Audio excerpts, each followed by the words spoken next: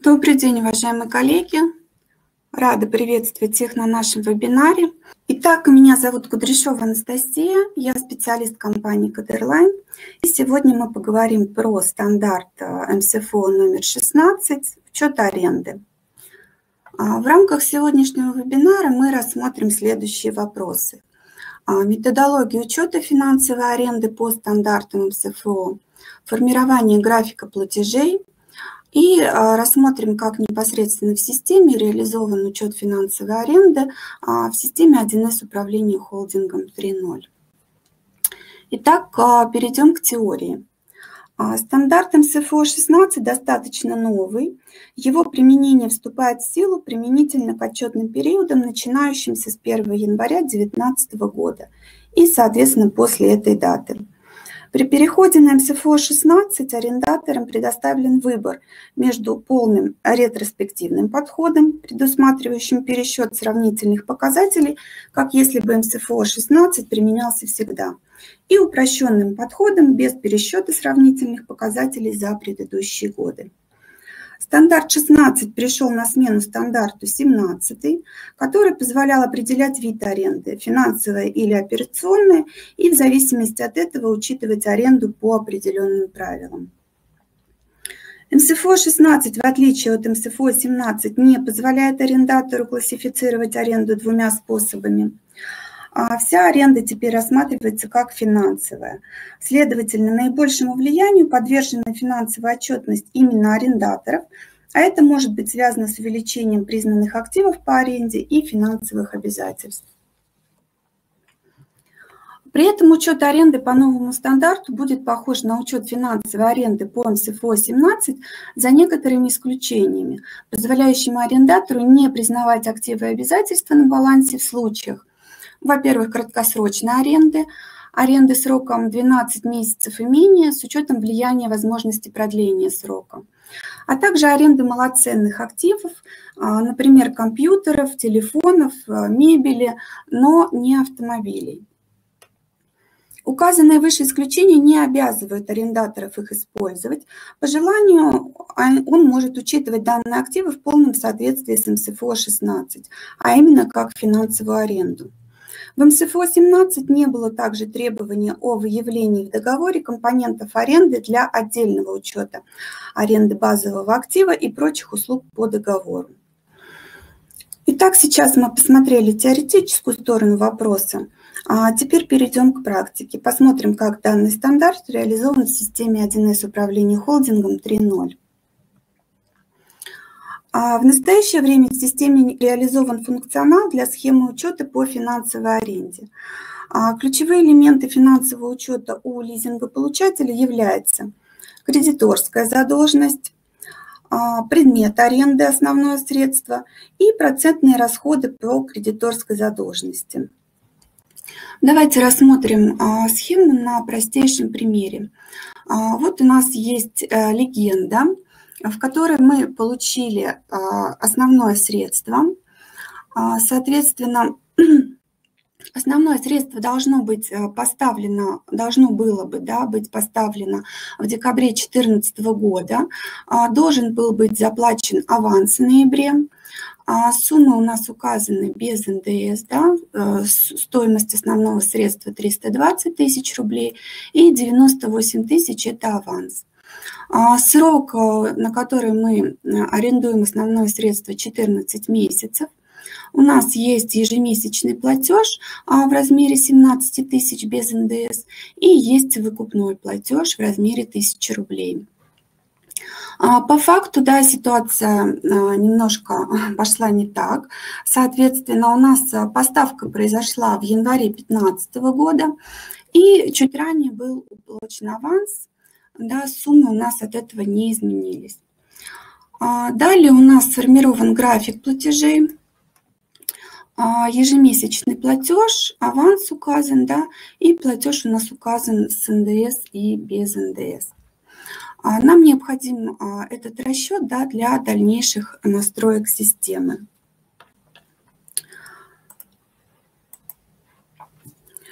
Представленная схема учета относительно проста. А, на практике схема учета для а, лизингополучателей усложнена следующими обстоятельствами.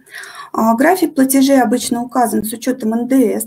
При расчете графика начислений требуется платеж очищать от НДС. Поставка предмета лизинга производится в произвольную дату месяца. В графике начисления МСФО требуется расчет процентного расхода производить как на дату платежа, так и на отчетную дату. И при расчете графика также требуется учитывать начисленные, но не оплаченные проценты.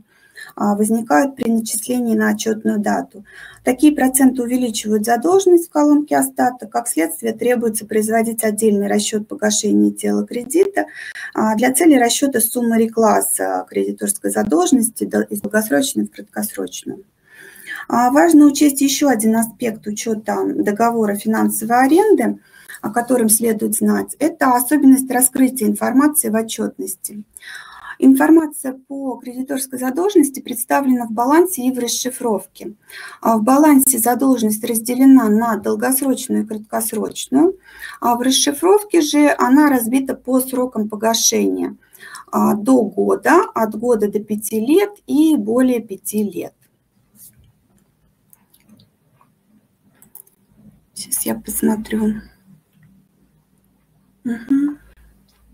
Давайте далее перейдем в систему уже непосредственно и посмотрим, как а, данный стандарт у нас а, в системе учитывается.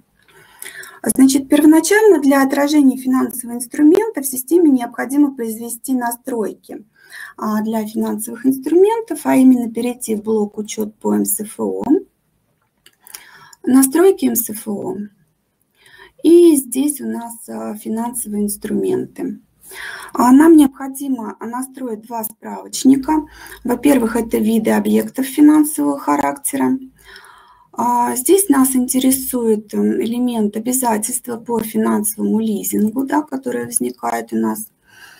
А здесь мы видим, что у нас тип это ИФРС 16 лизинг, способ учета по амортизированной стоимости, а в балансе это как обязательство фигурирует. И а, характер расчетов у нас финансовый инструмент. Раскрытие справедливой стоимости по графику. А далее нам необходимо произвести настройки справочника параметры учета объектов финансового характера. А здесь у нас наименование мы можем ввести любое. Да? Здесь у нас лизинг. А нам обязательно нужно выбрать вид объекта финансового характера. Это вот тот, тот элемент, который мы только что с вами рассмотрели до этого. Да? Здесь мы его выбираем. И, соответственно, счета учета нам необходимо проставить. А для активов и обязательств счета учета, для а, доходов и расходов, и по лизингу уже непосредственно счет начисления платежа, счет раскрытия минимальных платежей и э, счет учета будущих расходов. А, после того, как данные настройки произведены в системе, нам необходимо учитывать, что в системе, в документах национального учета должны быть заполнены данные по объекту лизинга. Давайте это закроем. А, мы переходим в раздел «Договоры и проекты», справочник договоры. Вот здесь у нас заполнен договор, это у нас уже идет э, объекты национального учета, да, повторяюсь. Соответственно, вот здесь у нас э, есть договор, э, в котором у нас указан, указана, естественно, организация, контрагент, у нас указаны фактические данные да, по договору, с какого момента он действует. Да, то есть вот если мы вернемся в наш график, то это у нас даты поставки плюс 14 месяцев, соответственно. А, сумма по договору без НДС указана. А, здесь указаны данные национального учета. А для того, чтобы система понимала, что мы хотим данный объект вести параллельным учетом в МСФО, на вкладке МСФО нам обязательно необходимо указать параметры учета. Да? Это тот элемент справочника вот со счетами, да, который мы заполняли. Соответственно, счета здесь обязательно должны быть указаны, чтобы система понимала, а, каким образом ей транслировать данные. Итак, далее, после того, как мы убедились, что в национальном учете у нас все заполнено, а, соответственно, нам необходимо транслировать данные с национального учета а, на учет МСФО. Делается это документом трансляции.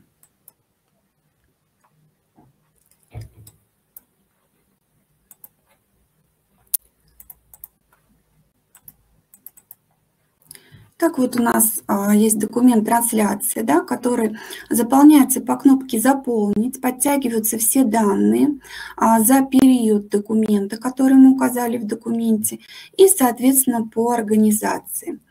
А, для того, чтобы система правильно подтянула данные, у нас должен быть настроен шаблон трансляции. Давайте его тоже посмотрим. Шаблон трансляции – это настройки сопоставления счетов. Если мы перейдем по кнопке настройки сопоставления счетов, мы увидим данный механизм.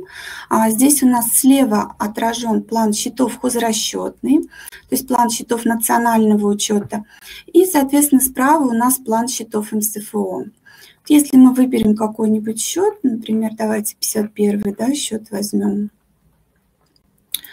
а, 51 а, счет а, хозрасчетного плана счетов, а мы видим, что система нам подсвечивает, что данному счету у нас а, настроено соответствие на счет 1.3051, а кэш – это уже счет МСФО. Соответственно, с помощью сопоставления, с помощью этого механизма сопоставления счетов, система переносит данные с плана счетов РСБО на план счетов МСФО. Вот в данном документе трансляция мы видим, да, что у нас перенесены суммы. Это сумма а, нашего аванса из графика, да, это сумма платежа. Соответственно, с помощью документа выверка, выверка трансляции, если мы перейдем, мы можем проверить полноту и правильность переноса данных. Вот если в колонке расхождения ничего не отражается, значит данные перенесены корректно.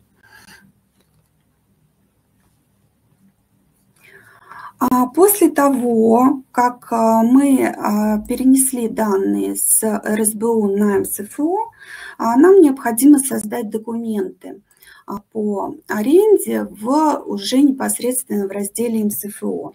Для этого перейдем в блок «Учет по МСФО» и откроем документы по финансовым инструментам.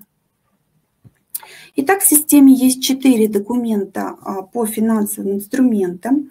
Это документ отражения финансового инструмента по амортизированной стоимости, а также отражение финансовых инструментов по справедливой стоимости.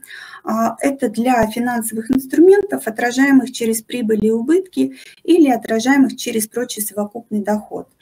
Помощью этих документов система позволяет классифицировать финансовый инструмент так или иначе. А также в программе есть мастер-классификатор, а, который позволяет помочь классифицировать финансовый инструмент согласно ФРС номер 9. Это опросник, да, то есть если вы сами самостоятельно не можете классифицировать финансовый инструмент, а с помощью мастера классификации вы можете а, заполнить а, ну, ответы на вопросы, проставить галочки, и система вам поможет в этом, то есть с помощью системы вы уже классифицируете данный финансовый инструмент. Так, вернемся к документам. Также вот у нас третий документ – это регламентная операция по финансовым инструментам. Отражение финансовых инструментов по амортизированной стоимости, если мы возьмем этот документ, то данный документ не делает никаких проводок, он только запоминает графики финансовых инструментов, а, запоминает графики начисления, погашения, дисконта, и уже на основании этих графиков проводки делает как раз-таки непосредственный документ регламентная операция. А если мы возьмем документ отражения финансовых инструментов по справедливой стоимости, то он делает проводку по переоценке в соответствии со счетами переоценки. То есть если это переоценка через прочий совокупный доход, он делает отражение через прочий совокупный доход. Если через прибыли и убытки, то на счета прибыли и убытков. Ну и также есть документ стороны финансовых инструментов. А, он реализован для транзакционной модели, отслеживает все операции российского учета, которые произошли по документам учета финансовых инструментов и, соответственно, сторнирует данные операции. Вот таким образом при помощи этих четырех документов, в общем-то, реализован учет финансовых инструментов в системе. Итак, нам необходимо да, в дальнейшем вот создать документ расчет финансовых инструментов по амортизированной стоимости. Давайте его посмотрим. Значит, данные в этот документ у нас подтягиваются по кнопке «Заполнить» точно так же, да, из а, документов национального учета. У нас подтягивается сумма а, основной стоимости основного средства, у нас подтягивается дата начала и окончания, соответственно. Вот, эффективная ставка а, рассчитывается автоматически. Значит, далее нам необходимо перейти в графики. А, как правило, в национальном учете графики не заполняются, но в учете по МСФО заполнять их обязательно. А, графики состоят из стоимости актива и обязательств по аренде. А также на вкладке «Минимальные арендные платежи» у нас есть возможность ввести неарендный платеж. Ну, например, да, вот у нас колонка, например, это будет у нас коммунальные платежи. Неарендный компонент вычитается из суммы платежа, а остаток распределяется на основной долг и проценты. Ну, в данном случае у нас нет здесь неарендных платежей, вот, но смысл понятен. А, на вкладке «Объекты лизинга» по кнопке «Рассчитать стоимость ВНА» мы можем рассчитать стоимость объекта обратным счетом. А, ну, так как иногда мы можем знать стоимость объекта, полученного в лизинг, а, тогда в этом случае мы можем автоматически рассчитать эффективную процентную ставку. В том случае, если мы не знаем стоимость объекта, но знаем рыночную процентную ставку, тогда программа поможет нам автоматически рассчитать стоимость объекта лизинга. А, нам необходимо обязательно а, заполнить а, график платежей. Заполнить его можно как вручную, внести данные, также его можно загрузить из Excel. Да, вот по кнопке «Загрузить», «Загрузить минимальные арендные платежи». У нас подтянется файл, мы можем подтянуть файл Excel, и данные будут автоматически скопированы в в график а, минимальных арендных платежей. А, повторяю, да, что в национальном учете графики, как правило, не заполняются, так как, в общем-то, ну, там они не нужны бывают. Вот, в МСФО нам обязательно нужно заполнить график для того, чтобы система автоматически могла рассчитать нам краткосрочную и долгосрочную задолженность. А, на вкладке «Параметры инструмента» нам обязательно необходимо заполнить ставку НДС, чтобы система да, автоматически нам тоже рассчитывала. Вот. Ну и при необходимости указать рыночную процентную ставку. На вкладке «Дополнительные расходы» а, мы можем указать различные дополнительные расходы, которые у нас есть. А, там указываются комиссии, дополнительные сборы, которые у нас не включены в график. А, но они оказывают влияние на денежный поток. Ну, например, да, в случае аренды это может быть расходы на риэлтора, которые мы понесли при аренде. Давайте посмотрим. Здесь вот у нас представлено два типа платежей. А, платеж за модернизацию актива. А, в этом случае расход включается в стоимость основного средства и в стоимость обязательства, то есть капитализируется стоимость основного средства, да, если мы понесли какие-то расходы на модернизацию нашего актива. И также есть условный арендный платеж, в этом случае расход у нас включается в процентную ставку. А, на вкладке «Объекты лизинга» А табличная часть, соответственно, у нас уже заполняется объектами аренды. А при изменении рыночной процентной ставки на вкладке «Параметры инструмента» необходимо нажать кнопку «Рассчитать стоимость ВНА». Да? То есть если у нас изменяется рыночная ставка, то мы можем пересчитать стоимость ВНА. На завершающей стадии, соответственно, документ у нас проводится. А после того, как мы провели данный документ, э, завершающим этапом у нас а, нам необходимо создать документ регламент на операции периода по финансовым инструментам. А, в данном документе нам необходимо указать наименование организации, дата автоматически представляется и период, соответственно, и сценарий. А, данный документ у нас формирует операции по начислению процентного расхода, по начислению лизингового платежа по реклассу кредиторской задолженности из долгосрочной в краткосрочную. Соответственно, здесь вот мы можем посмотреть а, все операции, да, которые сформировал данный документ. А вот таким, в общем-то, несложным образом в системе реализован учет аренды по стандартам МСФО. А, коллеги, если у вас остались какие-то вопросы, вы можете написать их в чат. Давайте я перейду сейчас в чат, попробую ответить на ваши вопросы. А можем ли мы настроить сразу настройки МСФО и РСБУ, так у нас одинаковая политика, не делать дополнительных документов трансляции. А, ну, политика у вас одинаковая, да, но а, вы же при формировании отчетов по МСФО должны будете а, брать данные из плана счетов МСФО. А, соответственно, вам нужно все равно делать документ трансляции, чтобы транслировать данные РСБУ с данных МСФО. А, документы у вас, в принципе, все подгружаются, да, ну, документы национального учета, да, вот, но вам их нужно, соответственно, они ложатся на план счетов национального учета. И далее вот с помощью документа трансляции, да, и механизма шаблон трансляции, то есть вот настройки сопоставления счетов, а вам все равно необходимо эти данные будут трансли, ну, их транслировать, да, но это мы говорим сейчас о транзакционной модели, вот, так как в системе реализованы две модели, трансформационная и транзакционная. Да? Вот в случае транзакционной модели вам а, необходимо транслировать все-таки с одного плана счетов на другой, вот, а, чтобы далее уже с плана счетов МСФО подтянуть а, транслированные данные в отчеты по МСФО. Ну, вот. Будет ли в документ те, я так понимаю, трансляции по связанным документам, видно, откуда переносились данные. Ну, вот как я вам да, показывала, а, там указано будет, с каких счетов а, перенесены данные.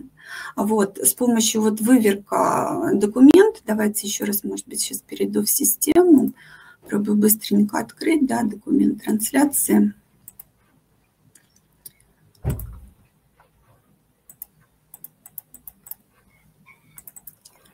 Наш документ, да, соответственно, вот, во-первых, в табличной части мы видим, да, заполнение самого документа, а, ну, как бы табличная часть – это такая рабочая часть, да, мы здесь можем что-то добавить, что-то, соответственно, удалить, то, что нам не нужно, вот, э, здесь у нас видно, да, вот счета учета, а, с счет национального учета и счет МСФО, соответственно, счета дебета, счета кредита. Вот. Ну и повторяюсь, да, настройки непосредственно, они производятся в шаблоне трансляции, да, то есть вот, как я говорила, да, например, 51 счет у нас транслировался на счет 1.3051. А вот настройки вот в шаблоне трансляции, настройки сопоставления счетов, мы здесь это видим. 51 счет – вот система нам подсвечивает, да, вот галочками мы можем там выбрать или, например, отменить данную настройку. Настройки производятся с помощью вот кнопки, да, сопоставить счета. В принципе, механизм несложный, достаточно один раз его настроить. Здесь есть, конечно, более сложные настройки, там, например, можно по субконту отбирать и так далее. Вот, но это уже не в рамках нашего сегодняшнего вебинара. Вот, но, в принципе, на мой взгляд, механизм несложный. Если один раз его настроить, то а, далее уже в отчеты будут подтягиваться корректные данные.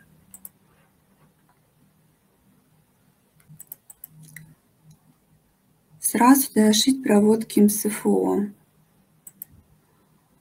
А, ну, сразу зашить проводки МСФО, я, честно говоря, ну, не понимаю, как это реализовать. Зачем в табличной части ВНА документа указываются объекты лизинга ОС? А, у нас основное средство, да, согласно стандарту 16, оно у нас а, ставится на учет. То есть оно является в период лизинга, оно является как нашим основным средством, оно у нас на балансе. Получается двойной ввод и двойные документы. Я не понимаю, почему двойные документы, да, у нас двойных документов нету. У нас документы одни в системе, а просто с помощью настроек у нас два плана счетов. Два плана счетов, и вот с помощью настроек мы с одного плана счетов переносим на другой план счетов. Двойных документов а, у нас нету. Если вы имеете в виду а, документы, которые мы создавали по о которых я говорила, да, а, документы по финансовым инструментам, но их создавать нужно. Принципе, их создавать нужно, да, для того, чтобы система понимала и правильно это все отслеживала, а, соответственно, переносила а, кредиторскую рекласс, кредиторской задолженности делала и так далее. То есть если вы говорите именно об этом, то данные настройки для параллельного учета финансовых инструментов, их создавать нужно. А если, смотрите, вот может быть, да, а если вы говорите, у вас э, и в том, и в другом учете все одинаково, да, то в принципе тогда нет. Вам достаточно будет, да, просто настроить сопоставление счетов и уже не вести, да, параллельный учет. Сейчас мы говорим именно о параллельном учете финансовых инструментов. А вы делаете документы дубль РСБУ для переноса в МСФО, поэтому мы говорим, что дублируется. Ну, я, да, поняла ваш вопрос, вот я надеюсь, что я уже на него ответила, да, что если у вас, в принципе, все одинаково, можете просто проводками а, российского учета транслировать на план счетов МСФО. Сопоставление счетов где делается? Ну, я уже показала этот механизм. Спасибо вам большое, спасибо, что нашли время. Надеюсь, информация была вам полезная. Приходите еще на наши вебинары. Вот, запись вебинаров а, также расположена на нашем сайте, там много полезной информации, поэтому а, еще раз спасибо, до новых встреч.